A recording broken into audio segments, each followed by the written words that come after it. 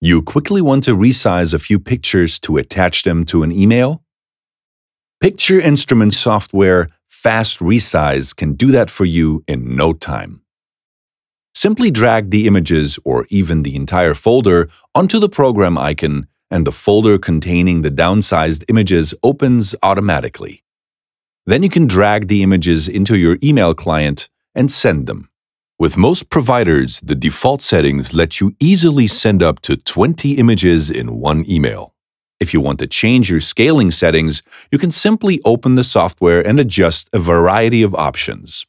You can manually set the output size and the compression ratio.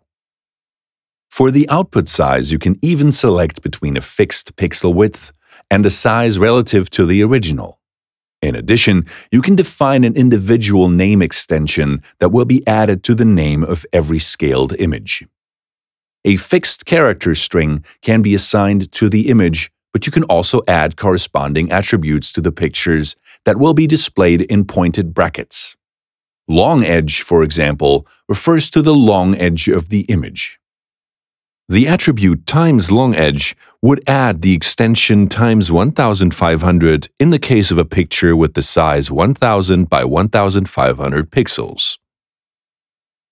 You can find all available attributes in the Help section behind the question mark.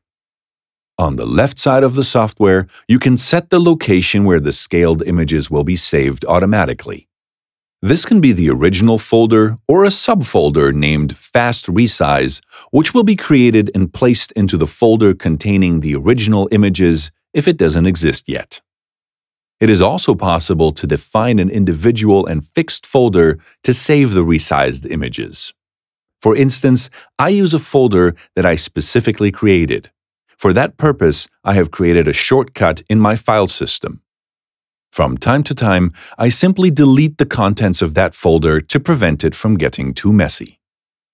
If you don't want the folder containing the scaled images to open immediately after scaling, you can deactivate this feature. However, I personally find this feature very useful as I usually need to access those images right after scaling them. In addition to the option to have the folder containing the scaled images open automatically, you can also open that folder manually with this button. To scale, you can of course also drag images or folders onto the active window in the Open program. From all of us here at Picture Instruments, we wish you a lot of fun with Fast Resize.